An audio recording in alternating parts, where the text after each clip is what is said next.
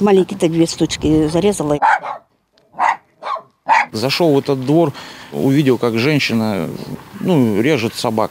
Подходить к ней и что-то там делать, останавливать. Ну, человек с топором и с ножом. Я чужих ни- никогда не беру. Если мне кто дает собачку, кто отдает. А так, чтобы я ловила, они мне нахрен не нужны. Я чужую собаку есть не буду. Я не знаю, чем они все и больные. Не, ну, Только домашние. А вы получаете удовольствие, когда убиваете? Ну, не знаю. Варили, жарили. Шашлык. Шашлык делали из собак? Да, собак шашлык очень вкусный. А вы знаете, чем ваша сожительница занимается?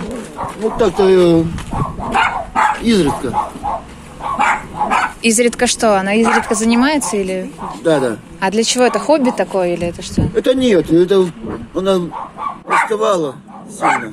А вы как к этому относитесь вообще? Вам как? Да, мне без разницы. Поселок Зеленая Дубрава, Рубцовский район. Женщина жестоко убивает щенят, разделывает их еще живыми. Эти кадры в июле взорвали соцсети. По понятным причинам мы не можем показать само видео в нашем сюжете. Знаете, вот насколько я как бы не сильно впечатлительная, я не смогла досмотреть до, до конца видео. Это ужас. Мотив был такой, что я слышала, что туберкулезов не помогает.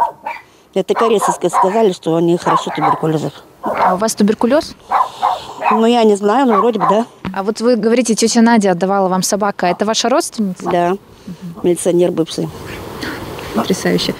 Корейские целители туберкулеза. По словам женщины, она работала с ними в поселке на полях. Именно они и привили ей любовь к собачьему мясу. Согласитесь, что даже в русской кухне есть множество блюд, в состав которых не входят собаки. А если завтра пенсионерка решит, что из человеческого мяса можно сделать вполне себе годные котлеты, тогда и каннибализм можно будет оправдать тем, что это средство для выживания, или так корейцы научили. Тем не менее, полиция не нашла ничего криминального в действиях живодерки. Уголовное дело не возбуждено. Одно из оснований – женщина ест собак из-за нищеты. Они не нашли состава преступления вот именно в этих деяниях, именно вот этой женщины. Мы все находим, а они почему-то не находят. При жестоком обращении с животными, повлекшими увечья или смерть животного, наступает уголовная ответственность. Это штраф до 300 тысяч и лишение свободы от 3 до 5 лет. И вот эта уловка полиции, и именно ее они учат, как говорить, что это для еды. Сама Бокова подтверждает, что сотрудники полиции ей сказали, а, когда приедет телевидение, говорить, то есть они ее заранее подготовили речь, говорить о том, что якобы она убивала животных э, ради пропитания. Обед готовите сейчас? Я хочу плов сделать. Говорят, что вы собак ели, потому что есть нечего было. Здесь собак нет. То есть курица, мясо, фарш любительский. Кто покрывает женщину и, главное, зачем? Мы убедились, что она не голодает. Тем более ее сожитель Александр работает у местного фермера. Андрей Фейш лично обращался в районное отделение полиции. Говорит, сотрудников беспокоит только тот факт, что дело придали огласке. Ему удалось записать разговор с местным участковым.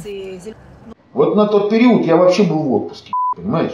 Не, а я, я, знаю, тут что выхожу, ты... Да я а знаю, тут что такая ты... вот, вот такая вот хуйня. Зачем она мне нужна? Я знаю, что ты был в отпуске. Если я, надо я решить, понял. я там этот вопрос сам как-то решу. Но вот это вот Давай. блядь, в интернет, там эти куры блядь, сидят, которые блядь, делов не знают.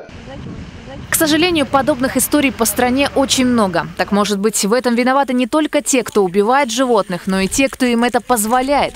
Глава местного сельсовета разводит руками. Ну что с живодеркой поделать, даже штраф не сможет оплатить. Состава преступления не видно здесь. Ну, а Никто как не запрещал собаку употреблять в пищу. Должна ли она быть совсем изолированной, лежать где-нибудь в психиатрической больнице?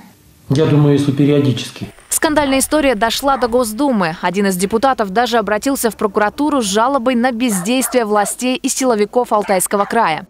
Но не поможет у нас город Рубцовск, не поможет Алтайский край. Извините, у нас есть Москва и вышестоящие лица. Она создает большую опасность для жителей села и кто окружает ее. По словам Екатерины, она прошла лечение в больнице, принимает таблетки, ходит к психиатру и стала спокойнее. Но кто ее будет контролировать в дальнейшем? Ведь один рецидив может повлечь за собой и другой – рецидив животных преступлений.